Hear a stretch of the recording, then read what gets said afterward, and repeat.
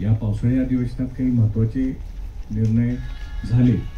आणि त्याच्यात काही ह्याच्यात महत्त्वाच्या विषयांमध्ये सहभाग पण घेतला. त्याची माहिती आपल्याला द्यायची होती. सर्वप्रथम आपले जे पूरग्रस्त वसाहत आहे त्या पूरग्रस्त वसाहतीच्या जे एकोणीसशे एकसष्ट साली जे खडकवासल्याचं अ, धरण फुटलं. आणि मग त्याच्यात अनेक लोकांना त्यांचं पुनर्वसन पुणे शहरातल्या वेगवेगळ्या भागात करण्यात आलं.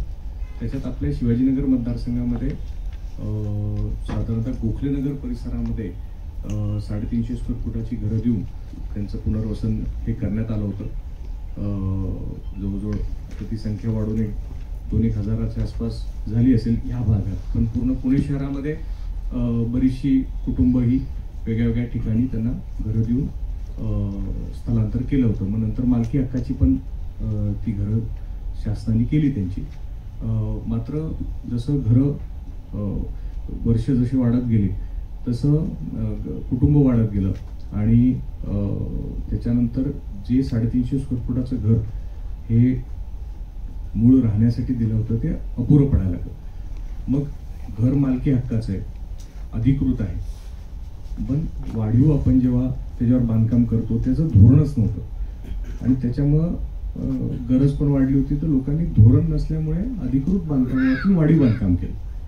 आणि वाढीव बांधकाम केलं त्याच्यावरती मग नंतर जेव्हा धोरण दोन हजार आठमध्ये तयार झालं त्या त्या अनुषंगाने त्याच्यावरती वेगवेगळ्या टॅक्स आकारणीची प्रक्रिया सुरू झाली.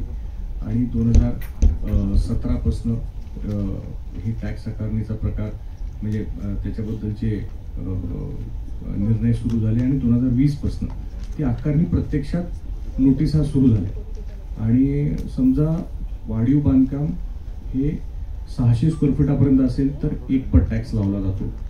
वाढीव बांधकाम समजा हजार स्क्वेअर फुटापर्यंत असेल तर दीड पट टॅक्स हजारच्या वर असेल तर दोन पट. आणि दोन पट ते तिप्पटपर्यंत टॅक्स आकारला जातो तर एकंदरीत हे अनधिकृत नाही आहे मुळामध्ये आम्ही महत्वाचं काय की अनधिकृत बांधकाम असेल तर गोष्ट वेगळी. पण ह्या अधिकृत बांधकामावरती धोरण नसल्यामुळे वाढीव बांधकाम केलंय.